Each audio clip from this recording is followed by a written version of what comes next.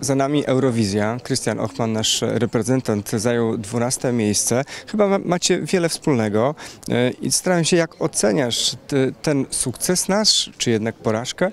Nie, no dla mnie to jest zdecydowany sukces. Chciałbym zaznaczyć, że pierwszy raz od pięciu lat w ogóle weszliśmy do finału e, w konkursie Eurowizji, e, więc to jest wielka zasługa oczywiście Krystiana i wszystkich ludzi, którzy pracowali przy tych utworach Mikołaj Trybulec, czyli Trips, Atutowy, który, którzy są producentami tego utworu.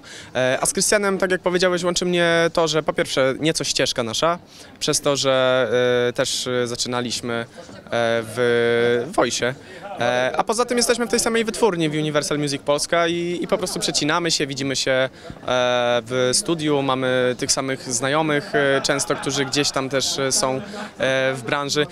I po prostu myślę, że myślę, że po prostu lubimy się, tak? I, I bardzo dobrze. Ja w ogóle jestem mega dumny z Krystiana, bardzo mu kibicowałem, trzymałem kciuki. E, najlepszy wynik od lat. W pełni zasłużenie. E, byłem pod wrażeniem jego występu finałowego, bo e, to się wiąże z dużym stresem. Nie wyobrażam sobie, bo ja sam nie, nie brałem udziału oczywiście w Eurowizji i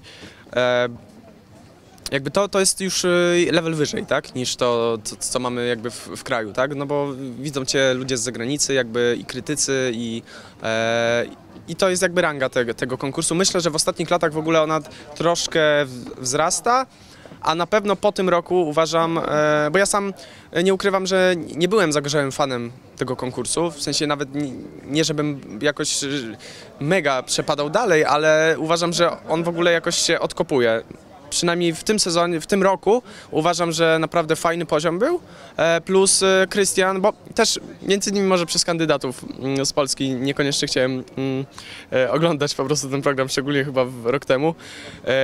No ale w tym roku trzymałem kciuki za Krystiana, widziałem jak bardzo dużą konkurencję miał i jak sprostał temu i genialnie zaśpiewał na żywo.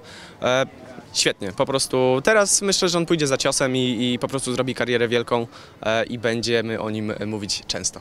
Cześć, to Michał Szczygieł. Zapraszam Was do obserwowania kanału Przeambitni, komentowania. Do zobaczenia.